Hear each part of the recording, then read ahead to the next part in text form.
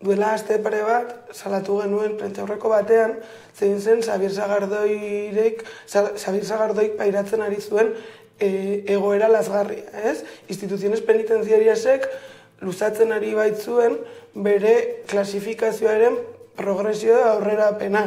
Bazuen soriako espetxeak proposatutako irugarren graduaren e, akordioa hau betez proposatu ziona espetxeak eta berriz instituziones penitenziariasek Madrilen luzatzen ari zuen erabaki hori bai estatzea bilabete beranduago oraindik ez zuen emaitzarik emana eta beraien asmoa zen hori luzatzea.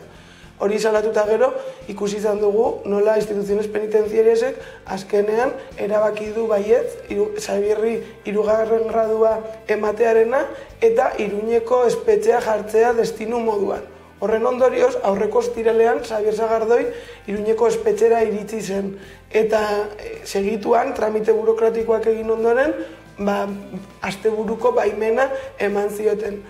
Egun, Xabier Zagardoi irugarren graduan egonik, hori izango da bere gora, e, zigorra bukatu bitartean.